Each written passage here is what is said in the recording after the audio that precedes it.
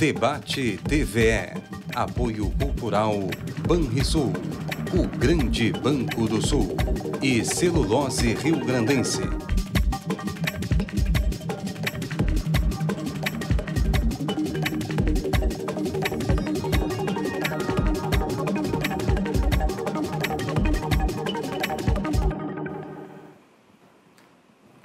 Boa noite.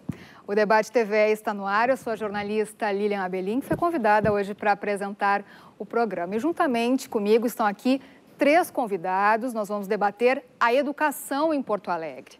O déficit de professores só aumenta, alunos têm sido dispensados mais cedo e a comunidade reclama. Enquanto isso, a prefeitura diz que não vai fazer nomeações. Então estão aqui comigo para debater a situação da educação na capital gaúcha, Janise Teixeira Duarte, que é representante do Sindicato dos Municipários de Porto Alegre, também o professor Augusto Nishi Teixeira, que é coordenador da área de Educação e Cultura da Unilassalle, Universidade Unilassalle, Isabel Letícia Pedroso, presidente do Conselho Municipal de Educação. Salientamos que a produção entrou em contato com a Secretaria Municipal de Educação de Porto Alegre, porém, por motivos de agenda, o secretário disse que não pôde comparecer. Esse programa está sendo transmitido ao vivo no site da TVE e você também pode, pode participar, sua opinião, suas perguntas, seus comentários, por favor, no nosso WhatsApp 98451 6352, o número que aparece aí na tela. Bom, nós vamos conversa, uh, começar conversando aqui hoje com a diretora da Atempa, que é um núcleo do Sindicato dos Municipários de Porto Alegre, Janise Teixeira Duarte. Muito boa noite, Janise. Boa noite. Nós vamos começar com ela aqui, conversaremos com todos eles sobre isso, porque o nosso debate, ele uh, tem é, muitos atropelos que vêm acontecendo aqui na educação da capital e uh, o cerne dessa discussão acaba sendo o déficit de professores aqui na capital gaúcha. O prefeito da capital, Nelson Marquesan Júnior, anunciou em maio que o déficit estava em 240. Esse número já aumentou, sabemos agora no final de maio, no dia 28, foram anunciados então um déficit, um, anunciado um déficit de 250 professores aproximadamente. Então esse déficit vem aumentando realmente. E nós queremos saber, então, aqui com a Janise, é, como é que está sendo a rotina, né? O, como é que, o que, que vocês têm a dizer, primeiramente, né, sobre essa deficiência de professores que está acarretando aí vários problemas, como nós vamos conversar durante o programa.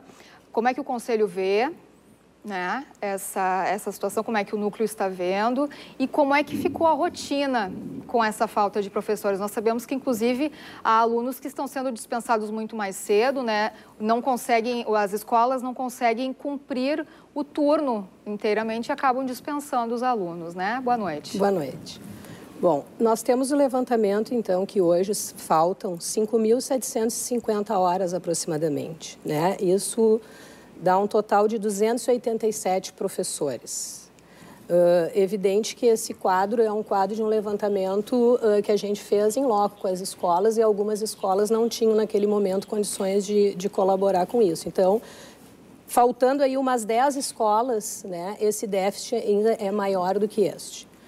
Bom, nós temos escolas que atendem 30 alunos de inclusão que estão sem a professora referência na sala de integração e recursos.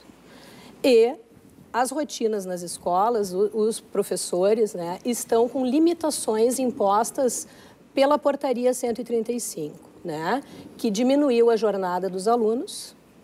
Né, todos os alunos da rede estão permanecendo menos tempo na escola, estão tendo menos tempo de interação com os professores, sim, né? Mas existiu uma possibilidade uh, de uma com, internamente se organizar, né? Esse déficit já era conhecido, mas a secretaria não estava discutindo RH com as escolas. Esse foi um motivo da imposição, dizendo que só discutiria o RH na medida em que fossem cumpridas né, as imposições dessa rotina. E as comunidades escolares, como um todo, não só os professores, os pais, né, se colocaram contra isso. Então, o que hoje está aparecendo, naquele momento né, da resistência, aparecia todas as a impossibilidade de implementação da rotina por estas questões, né, e outras de permanência dos, da co colaboração dos professores no trabalho nos refeitórios, acompanhando os alunos, enfim, vários pontos, né, da nova rotina. Mas uh, nunca existiu né, da nossa parte, o entendimento que isso ia se resolver. Né? Uhum. Então, é evidente que agora uh, as comunidades estão mais uh, incomodadas com isso, porque além da redução, né, os alunos continuam sem atendimento, mesmo o secretário tendo colocado que isso ia ser resolvido. Né? E a gente sabe que a, a rotina não vai alterar essa situação. Perfeito. Queria agora perguntar, então, para a presidente do Conselho Municipal de Educação, né, a Isabel Letícia Pedroso, é, o que, que vocês têm a dizer sobre isso, né? Como é que a comunidade escolar vem reagindo? A gente sabe, muitos protestos já acontecem desde março, na verdade, né? Em março nós já tivemos lá no início do ano letivo, protesto já em uma escola no bairro Medianeira, devido a essa situação. Uh, o que, que o Conselho, então, tem, tem a dizer? Como é que está a rotina? Como é que está a reação dos pais da comunidade? Bom, isso tem sido amplamente eh, visto, divulgado, né? As comunidades têm se mobilizado bastante e nós no conselho, eu queria destacar aqui, porque existe uma ênfase na, no ensino fundamental. Mas, por exemplo, as escolas de educação infantil estão numa situação bastante precária na rede municipal e isso é temerário porque se trata de crianças de zero a seis. Então, muitas escolas infantis também com, com um grupo de trabalhadores bastante reduzido.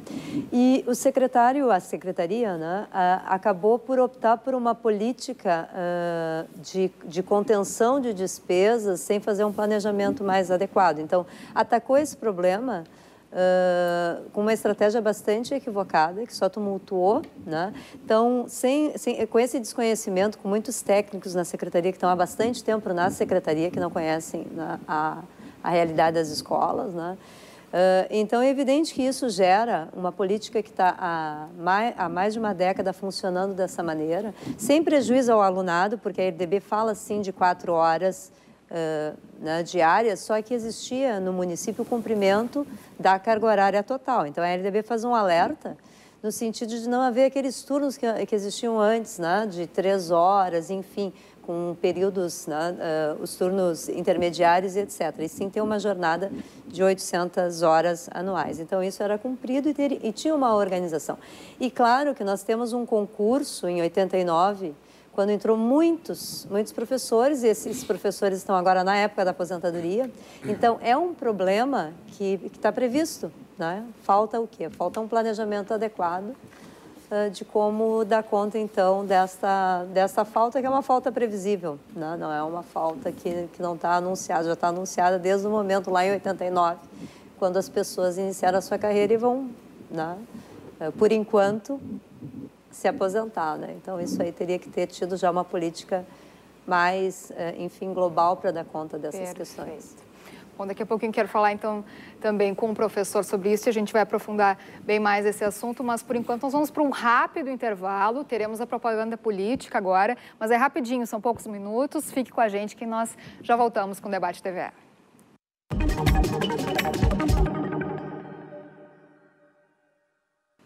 Voltamos com o Debate TVE. Hoje debatemos a situação da educação aqui na capital gaúcha, o foco do debate.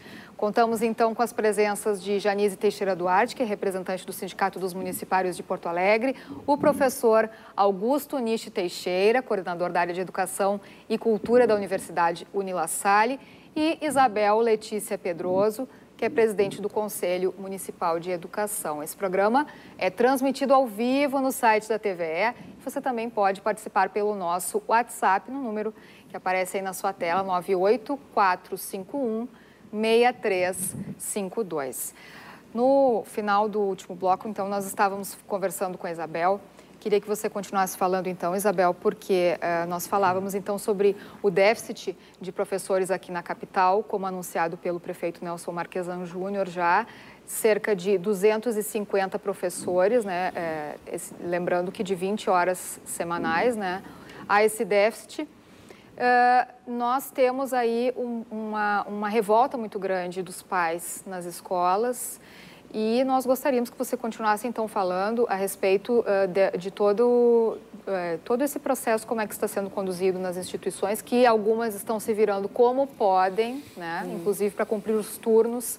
E fala um pouquinho sobre isso e continua falando, então, para a gente do, de como estão uh, a reação das comunidades, né? como é que isso está acontecendo, protestos já foram registrados. Hum.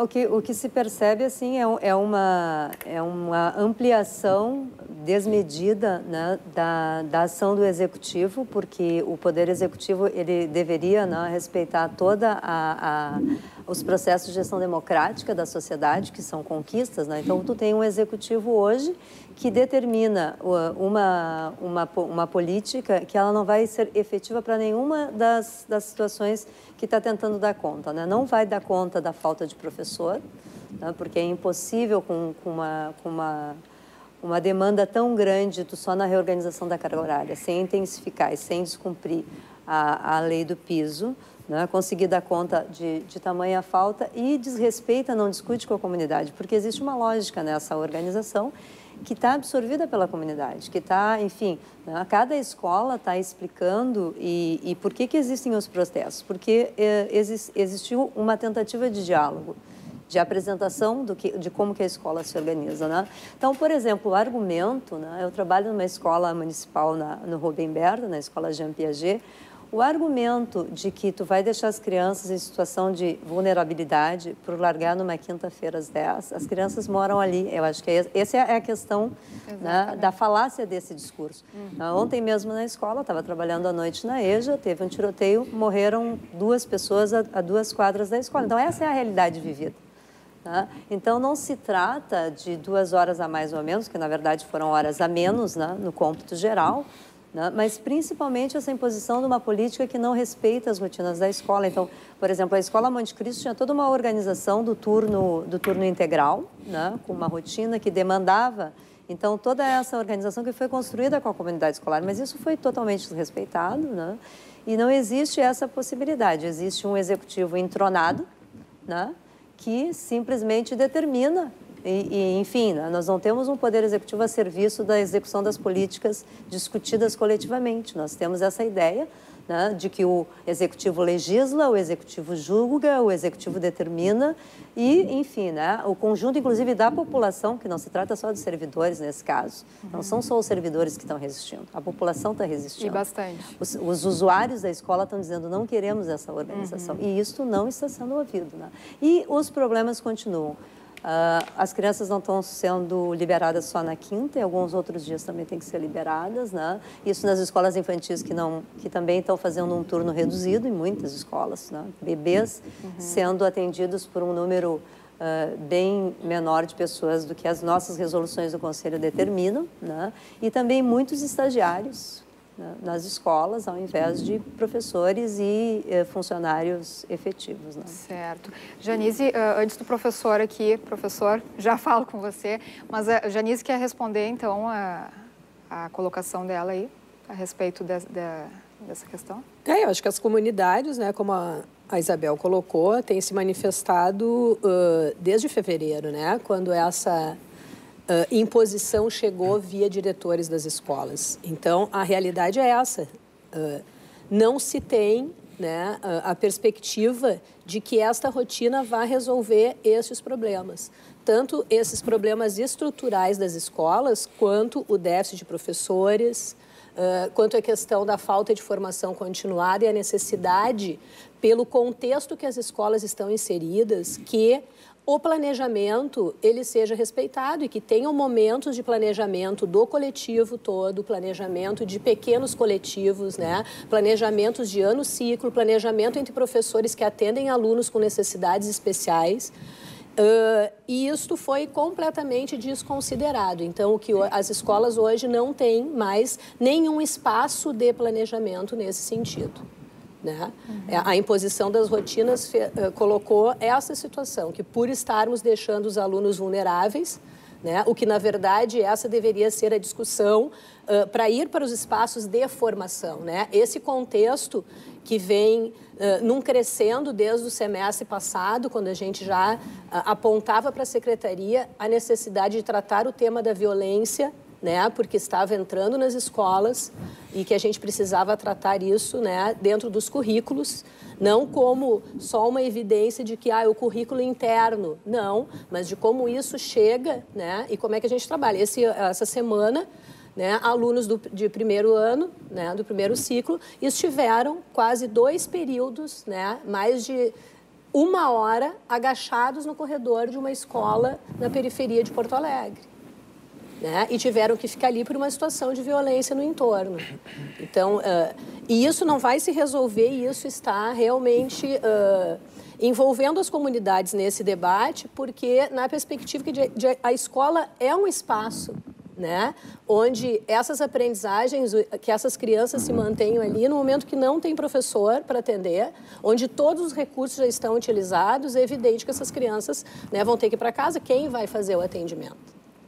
Né? Então, a vulnerabilidade está colocada agora mais neste momento do que quando o secretário dizia né, que era necessário se readaptar à rotina na escola, rever os tempos dos alunos, como se os alunos estivessem perdendo, né? Uhum. o que, na verdade, hoje eles estão perdendo. Perfeito. E a palavra do professor, então. Bom, é, eu fico pensando a respeito dos problemas da educação, não só do município, do estado, da União. E a natureza desses problemas, ela tem justamente um cerne sistêmico, né? Não é uma única questão, não é uma única, única solução que vai ser colocada que vai, portanto, resolver os problemas que nós temos na educação do município de Porto Alegre, em especial. É, eu percebo que esses dados quantitativos têm uma ênfase muito uh, significativa quando os problemas qualitativos da escola, né, da escola do município, da formação dos professores, das questões de currículos obsoletos e até mesmo essa desconstrução da autonomia da escola, na ação escolar, na ação educativa, na verdade, para mim chamou mais atenção. Então, eu, eu, trago aqui hoje, por exemplo, a grande... Porque, na verdade, né, desculpa interromper, professor, é, é a representatividade desse déficit dentro de um universo de... São 4 mil professores, né? Pode parecer pequena, né? Para é, muita gente parece pouco, mas, na verdade, em se tratando de educação, em se tratando de, de alunos que estão ali precisando ser atendidos da maneira correta, isso é, se torna gigantesco. É né? sistêmico. O, o, a ausência de professores faz com que outros professores tenham que assumir essas frentes. Nem sempre professores são das mesmas áreas de conhecimento. Isso, portanto, vai resultar numa queda natural dos indicadores que são utilizados. Eu nem vou discutir agora, nesse momento, se os indicadores são adequados às realidades escolares. Esses indicadores que são utilizados para medir quali quantitativamente a, a qualidade do ensino nas escolas do município.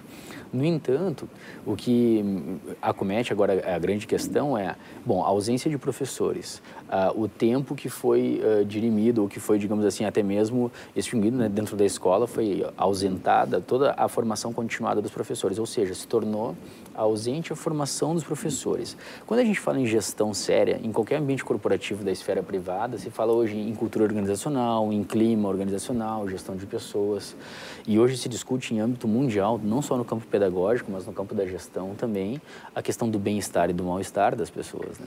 E hoje uma das grandes questões que está sendo discutida é o mal-estar docente. Então, todas as políticas que levam à construção, né, ou de uma ambiência, ou de uma atmosfera de mal-estar, isso vai resultar também, obviamente, na queda da qualidade do ensino e, portanto, da otimização de resultados da escola. Então, eu, eu, tenho muito zelo e muito cuidado com a figura do professor, que diante de tantas dificuldades que ele encontra, estruturais da escola e até mesmo do ponto de vista uh, de base que é dada de trabalho, né, em termos de questões didático-metodológicas, tecnologias aplicadas à educação, a própria cultura e gestão de pessoas dentro da escola, eu tenho muito cuidado, não é que eu quero blindar e proteger somente a figura do professor, mas eu creio que o trabalho que o professor desempenha na escola, diante da realidade que ele encontra, é muitas vezes muito bom e fantástico, diante a realidade que nós temos na escola. E o que me chama atenção também é que há um apelo uh, significativo acerca desses indicadores, desses problemas a priori uh, da esfera escolar, mas há tantos projetos educacionais, há tanta coisa bacana sendo feita dentro das escolas do município, as universidades, nós lá da Universidade de La Salle, que somos uma universidade comunitária, participamos também do PIBID, do Programa de Iniciação Docência, né, onde os nossos alunos das licenciaturas começam desde os seus primeiros semestres da, da, da pedagogia, letras, história, biologia, matemática, todas as licenciaturas, adentram na escola, encontrando a realidade escolar e também a, contribuindo para a transformação dessa realidade. Então, nesse aspecto, eu creio que nós podemos também enfatizar mais os bons projetos e as boas iniciativas, as boas práticas educativas que estão acontecendo dentro das escolas. E volto a frisar, me chama muito mais atenção os problemas de natureza qualitativa da escola e eu aponto aqui, que a própria Janice colocou, a questão da formação continuada dos professores, que tanto no âmbito do município quanto do Estado e da União como um todo, nos diferentes níveis de ensino, da educação infantil, como a Isabel colocou, até mesmo ao ensino médio, nós temos aí hoje um problema grave, que é o não apoio e não políticas educacionais voltadas para a formação. E nós não podemos pensar que a, escola trabalha, a educação trabalha com um fenômeno chamado movimento, a vida em movimento tanto os currículos se tornam obsoletos rapidamente, quanto, na verdade, questões de ordem didática metodológicas. Lá na universidade nós temos um projeto uh, encabeçado pelo professor Renato Machado, que é o coordenador da pedagogia, que se chama Universos Paralelos, que trabalha com questões voltadas para a cultura pop, uh, questões de ordem didático-metodológicas a partir da utilização das histórias em quadrinhos, da cultura pop, ou seja, revendo, né, em tempo de cultura digital e a partir de outros vieses, revendo as questões didático-metodológicas da sala de aula uhum. em busca de novos resultados. Mas para isso é necessária a formação de professores. Exatamente. Então nós temos um problema grave hoje, que é o abandono, muitas vezes, do professor que está dentro de uma sala de aula, eh, em tempo de cultura digital, sendo que muitas vezes a sua formação se deu em décadas anteriores e a gente está cobrando desse professor resultados, otimização, uhum. indicadores. É difícil, é isso, isso, e isso tudo é uma questão sistêmica, né? Bom, temos essa questão da formação, mas infelizmente né, temos que voltar aqui a, a, a esse déficit que está é, causando muitos transtornos nas escolas. Nós vamos falar, inclusive, agora do, do, caso de uma escola especial aí que é bem grave daqui a pouquinho. Mas antes eu queria perguntar para a Janise, não sei se ela tem esse dado, é, dentro, não são só professores, são monitores também, né? É, quais são as disciplinas, tem ideia quais são as disciplinas que têm maior carência é, de monitores? Como é que está a situação na, na, educação infantil também? Os monitores hoje na, nas escolas, né? Os monitores são trabalhadores em educação que atendem junto com o professor as escolas infantis, né? Uh, são educadores, portanto, e os monitores de apoio à inclusão são os necessários no ensino fundamental para fazer esta inclusão de qualidade com alunos com necessidades educativas especiais. Alunos que precisam, que usam fralda, alunos que se deslocam, que usam cadeira de rodas, né? alunos que precisam de acompanhamento, que conseguem ficar por um ou dois períodos né, uh, numa atividade, mas que depois precisam né, que o monitor o, o leve para um outro espaço. Perfeito. Então, assim, ó, existem planos de apoio construídos, pedagógicos, com as equipes nas escolas, onde a figura do monitor é importante. Este levantamento que eu te apresentei, de 5.750 horas, não traz a falta de monitores. Só professores. Nós estamos citando só professores. professores. No caso das escolas especiais, muitas turmas não conseguem ser atendidas né, uh, pela característica da necessidade especial destes alunos, que o professor esteja sozinho na sala, que ele não esteja com um monitor. Então, é essa dificuldade que as comunidades, né, o que antes Uh, acontecia assim esporadicamente, tinha uma ou outra situação, realmente este quadro de deficitário, né, e que já onde já se terminou um trimestre. Por isso o incômodo nas comunidades, nós fechamos um trimestre letivo e tem turmas que não tiveram aula ainda de ciências, não tiveram nenhum período de aula de matemática, né? E uma secretaria que diz que está preocupado com a questão da proficiência, né? Uh, então, e é nesse sentido que uh, as comunidades né, estão se, as escolas estão no momento de ter que liberar os alunos por total falta de condições. Uhum. Não existe dentro da escola um outro recurso humano para suprir que foi como o colega falou. Bom, o professor ele pode fazer uma substituição eventual de uma falta. Agora, não é de uma substituição eventual que nós estamos falando. Nós estamos falando de um recurso humano que está faltando para dar conta, seja como for professor referência de anos iniciais, que, vai, que é o professor responsável por uma turma de primeiro, de segundo ano, seja como professor de disciplina. Exato. que tem uma carga horária para dar conta. Uhum. Né? Então, é, é, é, essa é a problemática vivida pelas escolas, né? onde tem alguns setores que estão fechados né? e que ficaram fechados por um tempo, mas agora, como é que uma escola vai funcionar sem orientação educacional? Como é que uma escola vai funcionar sem supervisor, sem coordenação pedagógica? Sem a estrutura básica. Sem a estrutura básica para dar conta, né? Então... Uh... Citaste ali antes a, a, escola na Lomba do Pinheiro. Eu tenho aqui alguns nomes de escolas que, que têm situações bem graves. A Escola Municipal São Pedro, né, de ensino fundamental São Pedro, que é na Lomba do Pinheiro, na Zona Leste da capital. No, na mesma região ali da Lomba do Pinheiro, Escola Afonso Guerreiro Lima. É, essa, essa escola São Pedro tem uma média de seis turmas liberadas por dia. Essa escola vem desde o início do ano apontando para a secretaria um déficit de 400 horas. É muita coisa, hein? Só nessa escola? Só nesta escola. E Afonso Guerreiro Lima, 120 horas déficit. Nós temos no quadro, tem escolas que estão com 200, 200, mais de 200 horas, outras com 140 horas, 120 horas, 180 horas. Tu tem, uh, tem ideia de qual é a região mais afetada? Ou, tem, tem, tem esse levantamento? Não, organizado. Porque na Lomba do Pinheiro ali a gente região. já tem duas, é, né, na Zona Leste. Faltam professores em todas Generalizado. as escolas. Né? E no aspecto Nós da inclusão, não temos nenhuma escola com o quadro completo faltam. Então, o que está gritante, o que chama atenção, é que em algumas comunidades o tamanho dessa falta né, está fazendo com que os alunos não possam ter o atendimento, uhum. por falta de condições para que esse atendimento aconteça. E aí há uma diferença significativa entre o conceito de inclusão e de inserção de pessoas. Né? Inserir pessoas no universo escolar que tem, possuem a priori um déficit, uma, uma deficiência ou, como já foi utilizada essa terminologia em décadas anteriores, uma necessidade especial educativa ou seja, eh, necessariamente não está acontecendo um trabalho de inclusão pela ausência de profissionais, e sim de inserção. Se recebem as pessoas, mas não se dá o devido tratamento do ponto de vista de atendimento, acompanhamento pedagógico, intervenção uhum.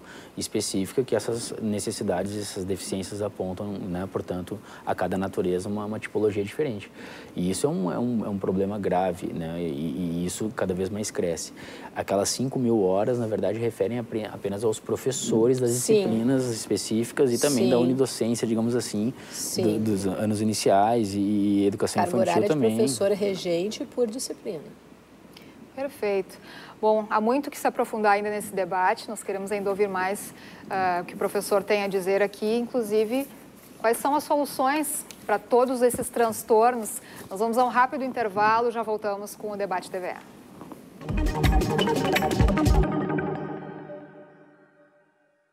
Voltamos com o debate TVE. A situação da educação na capital gaúcha é o foco. Hoje contamos com as presenças de Janise Teixeira Duarte, que representa o Sindicato dos Municipários de Porto Alegre, o núcleo do sindicato, professor Augusto Nishi Teixeira, coordenador da área de Educação e Cultura da Universidade Unila Salle, e Isabel Letícia Pedroso, que é presidente do Conselho Municipal de Educação. Lembrando que o programa está sendo transmitido ao vivo nas redes sociais, no site no site da TVE hoje, né? E você pode participar pelo nosso WhatsApp, 98451 6352. Mande sua mensagem daqui a pouquinho. A gente traz aqui a sua pergunta, o seu comentário aqui ao vivo.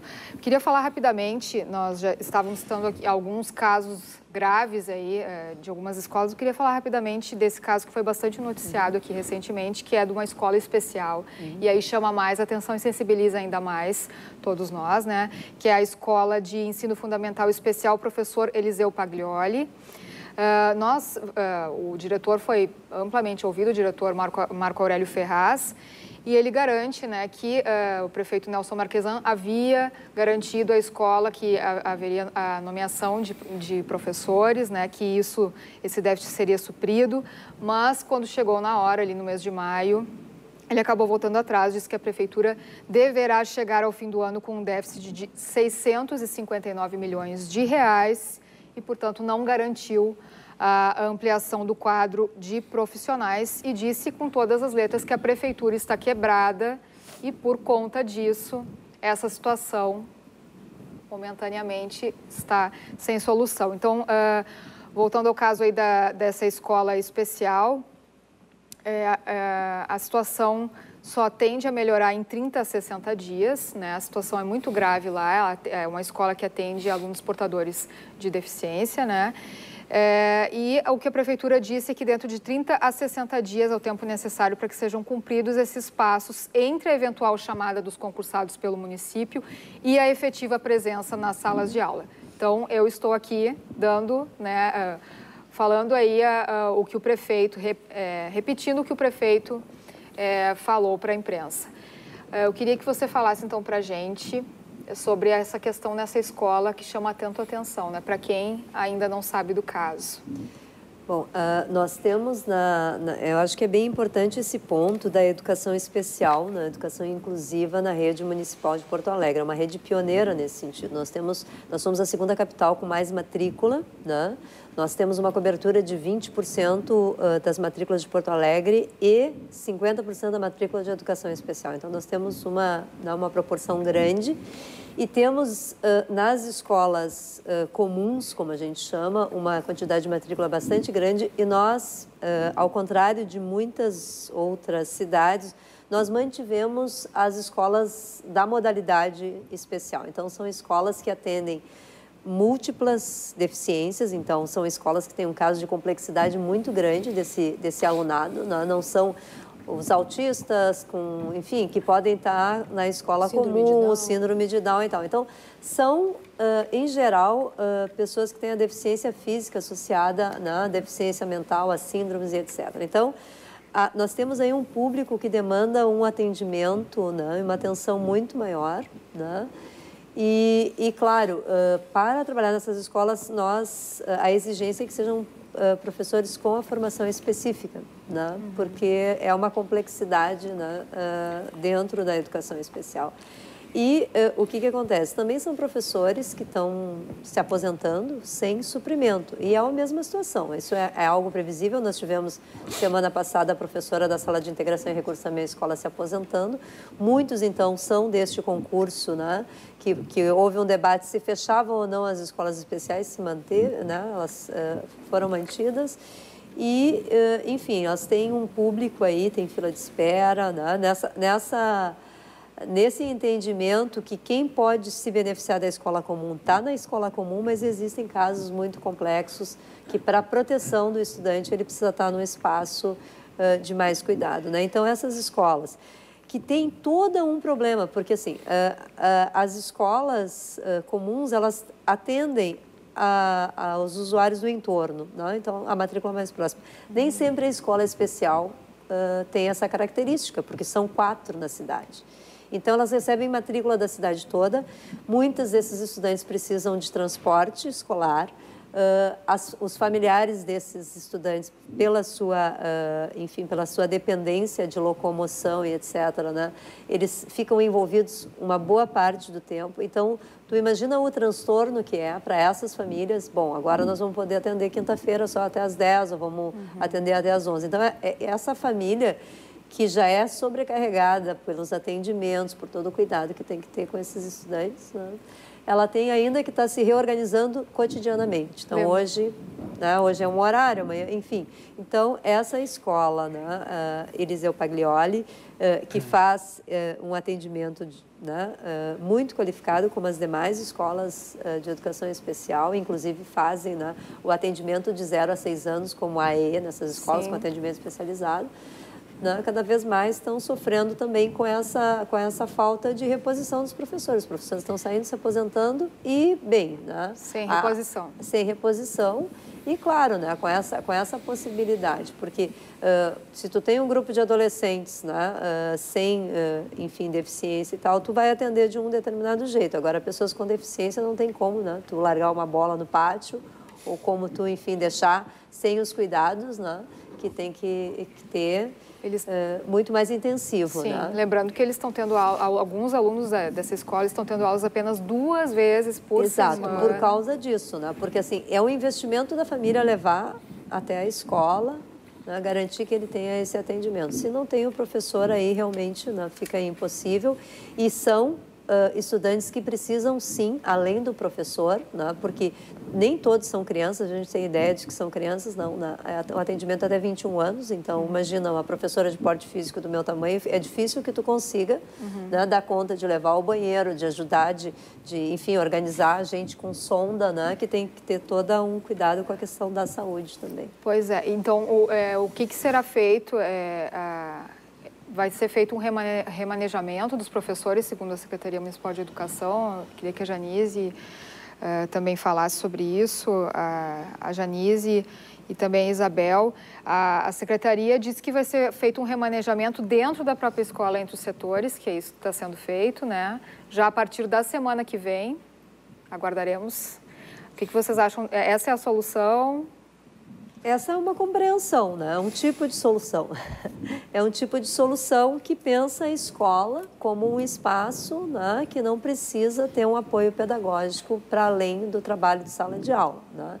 E, e com, essa, com, uh, com, com, esses alunos, uh, como que tu, por exemplo, atende um pai, tu está atendendo a sala de aula e tu está, enfim, um precisa ir ao banheiro, o outro está com uma outra demanda. Como é que tu organiza essa rotina, né? Porque uh, esse nome rotina, ele está muito inadequado. Porque não existe uma rotina hoje nas escolas. É, exatamente. Ele é, um, ele, ele é um termo completamente esdrúxulo para a situação que a gente está vivendo. Porque é cada dia um dia. Então, rotina, é, isso é o contrário da rotina. Tá? Isso é um improviso. Então, tu está falando de qualidade, tu está falando de uma série de questões, e aí o diretor da escola tem uma planilha, todo dia ele tenta organizar. Né? E assim as famílias e a própria escola né, tem todo esse investimento de energia para todo dia um dia. Né? Então, bom, hoje vai ter atendimento, amanhã a gente vê. bem, a gente imagina né, que tem um limite para essa reorganização. Eu não digo que não seja possível tu reordenar alguma né, alguém da escola aqui e ali. Mas isso tem um limite, um limite concreto. Não é possível tu suprir uma grande falta de professores dessa maneira, né? a menos que tu tire direção, né? Enfim, as escolas especiais, por exemplo, elas têm a porta fechada, elas têm campainha, elas têm a demanda, né? É muito diferente de uma escola comum. Então, uh, não sei como que tu faz uma escola né? só com professores o tempo todo no atendimento. E além do mais, a rotina não mudou, né? Exatamente. Os alunos das escolas especiais uhum. tinham né, uma jornada escolar de quatro horas diárias. Cinco dias. Né? Cinco, Cinco dias, dias na semana. Horas. Então, isso não mudou. Né? Eles não estão sob imposição da normativa para resolver o problema de RH. Uhum. Então, é isso. E essa é a nossa denúncia desde o início. Né? Que, e nada justifica, na linha do que a Isabel colocou, não existe né? Ninguém consegue enxergar o que, que é essa redistribuição dos tempos dentro da escola que só veio em prejuízo dos alunos né? uhum. e do planejamento ia resolver o problema de RH. Tanto que não resolve numa escola onde tudo permanece do mesmo jeito. A carga horária do professor permanece a mesma, o tempo de atendimento dos alunos permanece o mesmo. O problema da escola se concentra muito mais no vivido dentro da escola do que no tempo na verdade, ou seja, uh, esse acompanhamento né, da esfera pública acerca deste professor que hoje encontra dificuldades. A escola é um ambiente, é um, é ambiente de total ausência de rotinas. A escola uhum. é uma, é, sempre eh, reside na universidade da mesma uhum. forma as surpresas do cotidiano escolar, né? E esse professor muitas vezes sozinho, isolado, e no caso ainda da educação inclusive especial, mais ele vai ter dificuldade de agir uhum. diante das necessidades desses alunos. Então, é um problema grave nesse sentido. Né? Que, por enquanto, há uma promessa de solução uh, que não está muito longe, né? O, o, diretor disse que está aguardando desde novembro. Uhum. Bom, mas vamos entrar então nessa questão das soluções, aí já vamos adentrando nessa questão. O cadastro de, de concursados é, tem quantos professores? É, eu tenho um dado aqui, tem um total de 5.877 professores, são dados da Secretaria de Gestão, que é responsável pelas nomeações, né? Não há uma previsão de chamada de concursados. O que, que você tem a dizer sobre, sobre essa questão também? Eu acho que isso é a resposta do que a Isabel coloca. Bom, nós temos um. Novembro do ano passado, as direções fecharam os quadros para esse ano. Né? E já encaminharam com a secretaria. Fizeram uma revisão do quadro no início do ano, reapresentando. Então já foi colocado que existe um número relativo ao período, né? Quem entrou em 89, bem como a Isabel colocou, uhum. está agora completando, né, o seu tempo é. de serviço. Então, este planejamento não aconteceu. Esse déficit se, dá a esse boom, porque como entra um grupo grande, em 89 entramos muitos professores. Uhum. Né? Eu estou em processo de aposentadoria, inclusive. Né? Então, porque se completa, eu tenho 28 anos de trabalho no município. Encerrou, né? Uh, e esse planejamento não foi feito. E o que acontece é que, bom, os professores e agora, e a, e a, problemática talvez dessa escola especial seja que o cronograma de aposentadoria desses colegas chegou na data limite. Então, esse professor sai, o município tem que repor, porque a aposentadoria é a previdência que vai dar conta. É, eu queria destacar que o, eu vejo assim, um grande problema nessa gestão, que toda gestão ela tem que ter um princípio de continuidade, e essa não tem. Então, nós fomos, por exemplo, ao fórum, uh, o Ministério Público chama o fórum da FICAI, né? Uhum. da ficha do aluno infrequente, tem lá vários setores da prefeitura. Todos os setores ainda estão em processo de reestruturação. Então, assim, é meio ano já que, que, que corre, o mundo continua, né, uh, enfim, acontecendo, e então, esse princípio de continuidade, ele não foi respeitado e nem organizado na transição de gestão, eu não sei. Então, o que, que acontece? Nós temos hoje na Secretaria de Educação um secretário que é de fora da rede, que isso não, não tem gravidade nenhuma se ele realmente se organiza, né? Para rapidamente se apropriar das políticas. Nós temos um, um corpo na Secretaria de, de Trabalhadores que a grande maioria saiu, né? Temos pouca gente e as pessoas que estão lá, o que, que acontece? São, são pessoas que já estão há muito tempo na, na secretaria, estão muito distantes da escola, e muitas cumpriram um período muito curto. Né? Uhum. Né? Pessoas que cumpriram o estágio probatório mais um ano, têm um total desconhecimento da rede, total desconhecimento de gestão, e estão organizando a política para o município. Né? Então, são pessoas que fizeram três anos, quatro anos, cinco anos de carreira na escola e dez anos na secretaria. Então, os colegas estão lá há três, quatro gestões, reclamando da gestão passada. Chega a ser né, uh, esquisito de ouvir que alguém que esteja num cargo de agente político agora e estava no, no governo passado reclama da secretária reclama do outro secretário, porque já estão há três, quatro gestões, alguns há mais tempo. Né? Então, falta aí esse é a, a, mecanismos, estratégias que têm conta desse princípio de continuidade. Nós não podemos esperar numa escola meio ano até a secretaria se organizar. Aí já foi um semestre. Bom, né? já que o nosso tempo está acabando aqui, eu queria que o professor falasse um pouquinho sobre o levantamento do TCE, no Tribunal de Contas do Estado, Uh, eu queria que você falasse rapidamente. Nós sabemos que o TCE apontou falhas no ensino fundamental de Porto Alegre, apresentou ao secretário municipal de Educação, Adriano Naves de Brito, agora entre o final de maio e início de junho, o diagnóstico que apontou aí diversas falhas, entre elas que Porto Alegre tem o maior gasto por aluno entre as capitais no período entre 2008 e 2015, o terceiro melhor nível socioeconômico entre as capitais, uh, e também disse que sobre a substituição de servidores por profissionais específicos, como assistentes administrativos e bibliotecários, que geraria uma economia de cerca de 203 mil reais por semana aos cofres do município. Certo. Bom, eu, eu, conheço bastante a realidade escolar, tanto do município de Porto Alegre quanto da região metropolitana como um todo, né? Todas as cidades do entorno aqui. E o que me chama a atenção é que o, a, o maior gasto entre as capitais não significa, não significa que é um valor alto, né? Do ponto de vista do que seria necessário, né? Pode ser o maior valor dentre as capitais, no entanto, não significa que é o necessário. Ainda assim, quando se fala em um déficit ou uma ineficiência, enfim, o que nós podemos apontar é que a educação foi dado todo um quadro, um contexto aqui de ausência de professores, professores fora da sua área de conhecimento atuando, né, ante disciplinas que não são de seu domínio, da sua formação, da sua licenciatura. Eu formo, eu concedo-lhe o grau de licenciado em, e eu estou fazendo com que esse professor atue em outra área de conhecimento. E antes de chegar nesse aspecto, rapidamente, eu quero dizer que alunos que hoje na educação infantil e nos anos iniciais, por exemplo, estão perpassando por todos esses problemas e isso tem gerado uma lacuna na sua formação, eles estarão daqui a alguns anos na universidade. Ou seja, nós temos um problema de muitas décadas pela frente em função deste 2017, 2016, 2015, enfim. Mas esses indicadores, muitas vezes, eles não refletem, talvez, a qualidade do ensino na minha opinião. Uh, primeiro que nós deveríamos rever, do ponto de vista acadêmico-científico, os métodos utilizados para essa coleta e para essa análise desses dados. Uh, e ainda eu gostaria de ressaltar que, ainda que haja uma, uma ineficiência, não é lá na base escolar que isso tem que ser revisto, porque esses professores, entre aspas, estão se virando nos 30 diante de todo esse contexto, esse cotidiano escolar, que é quase que um colapso, é quase que um, um abismo entre a ideia de qualidade e gestão. Lembrando que o gestor da escola também leu Dostoiévski, ou ficou lendo Vygotsky, Piaget, Vallon, Edgar Morin, Maturana. Ele não foi formado necessariamente para gestão de insumos, administrativo, estratégica, de inovação, gestão de pessoas.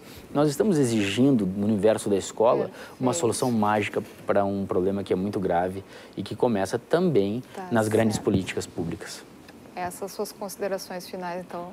É uma palavra, então, já que estamos no final do programa e não temos mais tempo, uma palavra, eu quero ouvir, então, uh, por favor, da, da Isabel e também da Janise. Uma palavrinha para resumir tudo isso. Uma palavra mesmo. Um, relativizar um pouco essas questões, eu acho. E estudo do relatório do TCE. Vale a pena estudar e discutir. Perfeito. Tua, e... tua frase. Se aproximar da rede, fazer um diagnóstico né, real de quem são essas, de onde são essas comunidades, onde essas escolas estão inseridas, né, para que a gente possa uh, estabelecer um diálogo Perfeito. de fato sobre os rumos da educação. Lília não cumpriu o teu desafio, eu diria gestão democrática, isso é que está tá faltando. ótimo, estamos encerrando, então agradecemos aos convidados, há muito a ser falado. A seguir tem o Jornal da Cultura, uma ótima noite para você.